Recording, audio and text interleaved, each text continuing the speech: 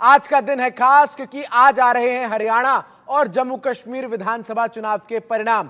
जम्मू कश्मीर और हरियाणा दोनों ही जगहों पर वोटों की गिनती सुबह आठ बजे से शुरू होगी और मतगणना के लिए सुरक्षा के पुख्ता इंतज़ाम तमाम जो मतगणना केंद्र है, वहाँ पर किए गए हैं। जम्मू कश्मीर में तीन चरणों में विधानसभा चुनाव 90 सीटों के लिए संपन्न हुए। तो वहीं हरियाणा की अगर मैं बात करूँ तो एक ही चरण में सभी 90 सीटों पर जो है परिणाम आज सामने आएँगे और चुनाव 5 अक्टूबर को संपन्न हुए। सुबह आठ बजे से वोटों की गिनती जो है वो शुरू होगी। काउंटिंग सेंटर से हर अपडेट इंडिया न्यूज़ सबसे पहले आप तक पहुंचाएगा। हमारे तमाम सहयोगी, तमाम काउंटिंग सेंटर्स पर मौजूद हैं। कौन से हाई प्रोफ़ाइल उम्मीदवार, कहाँ से, किस सीट पर क्या स्थिति है उनकी? हर अपडेट सबसे पहले इंडिया न्यूज़ पर आपको मिलेगी।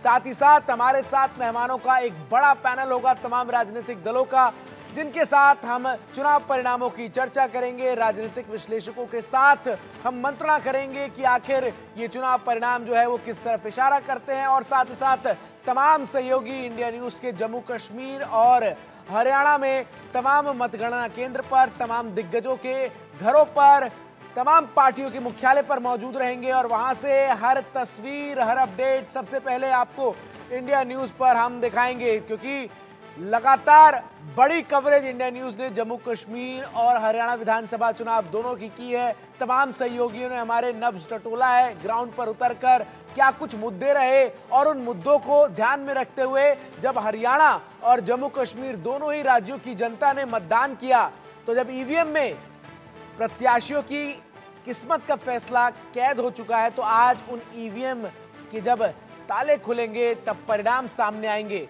आपको बता दें कि दोनों ही राज्यों में जो चुनाव हैं, वो संपन्न हुए हैं और आज दोनों ही राज्यों के परिणाम एक साथ घोषित किए जा रहे हैं। हरियाणा और जम्मू कश्मीर, यानी दोनों ही जगह नब्बे नब्बे विधानसभा सीटों के लिए मतदान हुआ था। जम्मू कश्मीर में तीन फ़ेज़ 18 सितंबर 25 सितंबर और 1 अक्टूबर को वोटिंग हुई थी। तो वहीं हरियाणा में सिर्फ़ एक फ़ेज़, यानी कि 5 अक्टूबर को मतदान हुआ था। हरियाणा में जहाँ पिछले 10 साल से बीजेपी की सरकार थी तो वहीं जम्मू कश्मीर में 10 साल बाद विधानसभा चुनाव हुए हैं। हरियाणा के 22 जिलों में 90 विधानसभा क्षेत्रों में तिरानवे मतगणना केंद्र जो है वो बनाए गए हैं। 90 मतगणना पर्यवेक्षकों की नियुक्ति हुई है। छियासठ दशमलव नौ छह परसेंट वोटिंग जो है वो देखी गई चुनाव के दौरान और 20,632 वोटिंग सेंटर्स पर वोटिंग की प्रक्रिया जो है वो संपन्न हुई। जम्मू कश्मीर की अगर मैं बात करूँ 90 सीटों वाली इस विधान सभा में तिरालीस सीटें जम्मू संभाग से तो वहीं सैंतालीस सीटें कश्मीर से हैं। पहले चरण का चुनाव 18 सितंबर को 24 सीटों पर हुआ जिसमें इकसठ प्रतिशत मतदान हुआ। वहीं दूसरे चरण के मतदान में 26 सीटों पर सत्तावन दशमलव तीन एक प्रतिशत वोटिंग हुई। तीसरे फ़ेज़ में एक अक्टूबर को 40 सीटों पर उनसठ दशमलव छह नौ प्रतिशत मतदान जो है, वो होता हुआ नज़र आया।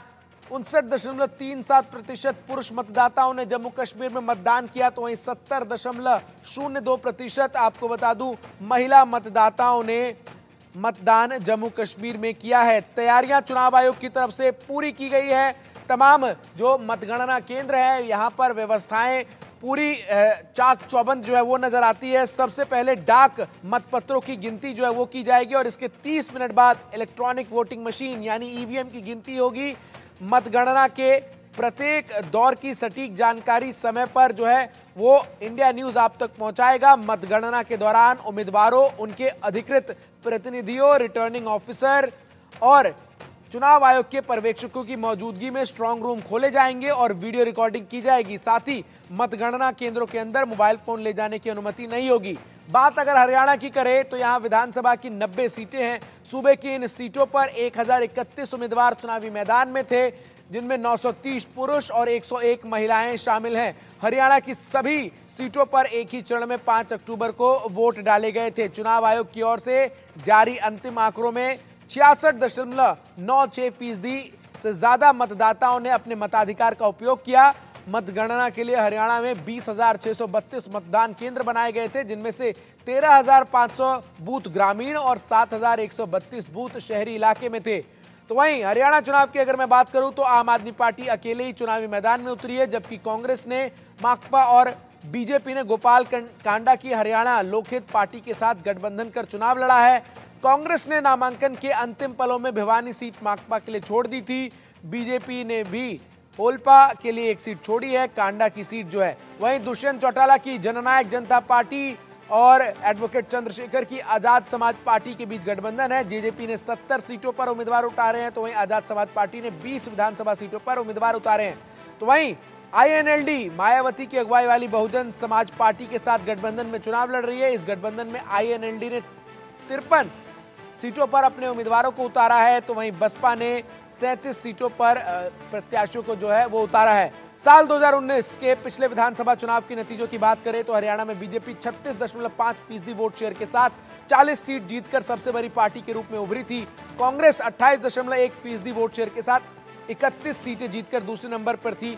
तीसरे नंबर की पार्टी रही जेजेपी ने। चौदह दशमलव आठ फ़ीसदी वोट शेयर के साथ दस सीटें जीती। आईएनएलडी दो दशमलव एक फ़ीसदी वोट शेयर के साथ एक सीट और अन्य के जो वोट शेयर की अगर मैं बात करूँ तो वो अठारह दशमलव दो फ़ीसदी था और आठ सीटें अन्य जो है वो जीतने में सफल हुए थे।